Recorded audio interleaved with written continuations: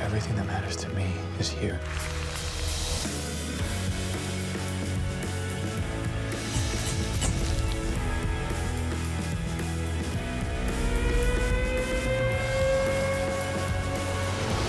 At least I'm from the right side. Everybody thinks that. Every war they ever fight. A country invaded, another surrendered. What will America do? It's normal. Fear in that. Just got to outrun it.